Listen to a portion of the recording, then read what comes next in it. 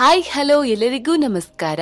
ಎಲ್ಲರೂ ಹೇಗಿದ್ದೀರಾ? ಇವತ್ತಿನ ವಿಡಿಯೋದಲ್ಲಿ ಕನಸಲ್ಲಿ ನಾವು ದೇವಸ್ಥಾನ, ದೇವಾಲಯದಲ್ಲಿ ಪೂಜೆ ಮತ್ತೆ ದೇವಸ್ಥಾನಕ್ಕೆ ಹೋಗುವ ಹಾಗೆ ಕನಸು ಮತ್ತೆ ನಾವು ದೇವಸ್ಥಾನದಲ್ಲಿ ಏನಾದರೂ ಕೆಳಗೆ ಬೀಳುವ ಹಾಗೆ ಬಂದ್ರೆ ಏನೆಲ್ಲ ಅರ್ಥವನ್ನ ನೀಡುತ್ತೆ ಎಂಬುದನ್ನ ತಿಳಿಯೋಣ.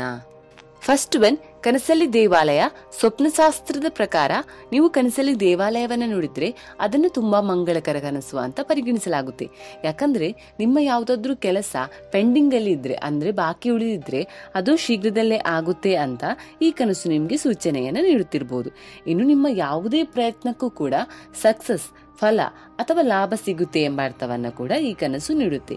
ಇನ್ನು ನೀವು ಕನಸಲ್ಲಿ ದೇವಾಲಯವನ್ನ ನೋಡಿದ ನಂತರ ನೀವು ದೇವಾಲಯಕ್ಕೆ ಹೋಗಿ ಅಲ್ಲಿ ಪೂಜೆ ಸಲ್ಲಿಸಿ ಏನಾದ್ರೂ ದಾನ ಮಾಡಿದ್ರು ಕೂಡ ನಿಮ್ಮ ಎಲ್ಲ ಇಷ್ಟಾರ್ಥಗಳು ಸಿದ್ಧಿಯಾಗುತ್ತೆ ಅಂತ ಕೂಡ ಹೇಳ್ಬಹುದು ಸೆಕೆಂಡ್ ಒನ್ ಕನಸಲ್ಲಿ ಪೌರಾಣಿಕ ದೇವಾಲಯ.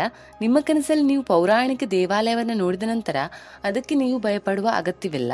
ಯಾಕಂದ್ರೆ ಕನಸಲ್ಲಿ ಪೌರಾಣಿಕ ದೇವಾಲಯವನ್ನ ನೋಡುವುದನ್ನ ಕೂಡ ಒಳ್ಳೆಯದು ಅಂತಾನೆ ಪರಿಗಣಿಸಲಾಗುತ್ತೆ. ಇಂತಹ ಕನಸುಗಳು ನಿಮ್ಮ ಹಳೆಯ ಸ್ನೇಹಕ್ಕೆ ಇದ್ದಕ್ಕಿದ್ದಂತೆ ನಿಮ್ಮ ಮುಂದೆ ಕಾಣಿಸಿಕೊಳ್ಳುವನು. ಅಂದರೆ ನಿಮ್ಮ ಹಳೆಯ ಸ್ನೇಹ ಮತ್ತೆ ಬರುತ್ತೆ ಎಂಬ ಅರ್ಥವನ್ನು ಕೂಡ ನೀಡುತ್ತೆ. ಇನ್ನು ಸ್ನೇಹಿತನ ಈ ಭೇಟಿಯಿಂದ ನೀವು ಅದೃಷ್ಟಶಾಲಿಯಾಗುತ್ತೀರಾ ಮತ್ತು ಅವರ ಸಹಾಯದಿಂದ ನಿಮ್ಮ ಅನೇಕ ಕಾರ್ಯಗಳು ಪೂರ್ಣಗೊಳ್ಳುತ್ತೆ ಎಂಬ ಅರ್ಥವನ್ನು ಕೂಡ ಈ ಕನಸು ನೀಡುತ್ತಿರಬಹುದು ಥರ್ಡ್ ಒನ್ ಕನಸಲ್ಲಿ ದೇವಸ್ಥಾನದ ಪೂಜೆ. ನಿಮ್ಮ ಕನಸಲ್ಲಿ ದೇವಸ್ಥಾನದಲ್ಲಿ ಪೂಜೆ ಮಾಡುವುದನ್ನು ನೋಡಿದ್ರು ಸ್ವಪ್ನಶಾಸ್ತ್ರದ ಪ್ರಕಾರ ಇದನ್ನು ಕೂಡ ಒಳ್ಳೆಯದು ಅಂತಾನೆ ಪರಿಗಣಿಸಲಾಗುತ್ತೆ. ಇದರರ್ಥ, ನೀವು ಯಾವುದಾದ್ರೂ ವಿಷಯಕ್ಕೆ ಸಿಲುಕಿಕೊಂಡರೆ ಗಾಬರಿ ಪಡುವ ಅಗತ್ಯವಿಲ್ಲ. ದೇವರ ದಯೆಯಿಂದ ನಿಮಗೆ ಏನಾದರೂ ಒಳ್ಳೆಯದು ಸಂಭವಿಸುತ್ತೆ ಎನ್ನುವ ಅರ್ಥವನ್ನ ಈ ಕನಸು ನೀಡುತ್ತೆ. ಫೋರ್ತ್ ಒನ್ ಕನಸಲ್ಲಿ ದೇವಸ್ಥಾನದ ಗಂಟೆ, ಕನಸಲ್ಲಿ ಗಂಟೆಯನ್ನು ಬಾರಿಸುವುದು ಅಥವಾ ಗಂಟೆಯನ್ನು ನೋಡುವುದು ಅಥವಾ ಗಂಟೆ ಶಬ್ದವನ್ನು ಕೇಳುವುದನ್ನ ಕೂಡ ಮಂಗಳಕರ ಸಂಕೇತ ಅಂತಾನೆ ಪರಿಗಣಿಸಲಾಗುತ್ತೆ. ಈ ಕನಸು ಕಾರ್ಯಗಳ ಯಶಸ್ಸಿನ ಸೂಚಕ. ಇನ್ನು ಇದರರ್ಥ, ಶೀಘ್ರದಲ್ಲೇ ನೀವು ಕೆಲವು ಒಳ್ಳೆಯ ಸುದ್ದಿಗಳನ್ನು ಪಡೆಯುತ್ತೀರಾ? ನೀವು ಯಾವ ಕೆಲಸಕ್ಕಾಗಿ ಶ್ರಮಿಸುತ್ತೀರೋ ಆ ಕೆಲಸದಲ್ಲಿ ನೀವು ಉತ್ತಮ ಯಶಸ್ಸನ್ನು ಪಡೆಯುತ್ತೀರಾ ಎಂಬುದಾಗಿ ಇದರ ಅರ್ಥ.